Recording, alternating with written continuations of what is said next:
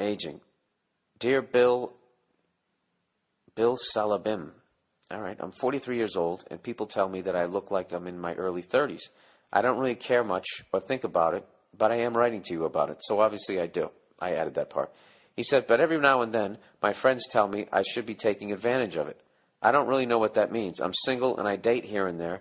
Should I be looking for a young tail? Jesus Christ, do they have to spell it out for you? Absolutely. Go get yourself a Letterman sweater. Maybe you look like you're 22. Huh? The fuck is wrong with you? You know what? You were raised right.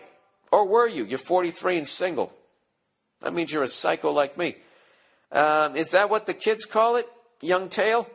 Should I show up to an arcade fire concert in skinny jeans and live tweet the concert? How do I take advantage of looking and feeling young? Dude, you don't want to do that. Look, you're 43. If you want to bang a 30 year old, by all means, go at, go at. You know what? Fuck whatever you want to fuck. Who am I to tell you what you should bang?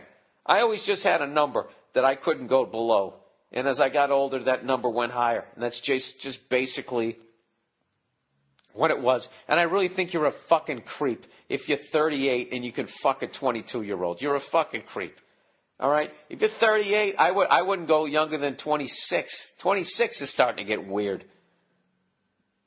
What are you going to talk about? So, what are you, you got, you going to go to graduate school? You know, as you're getting your fucking prostate checked?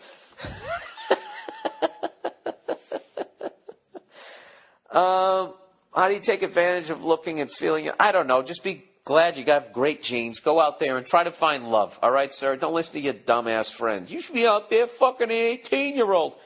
That's what I do. I'm a miserable married guy.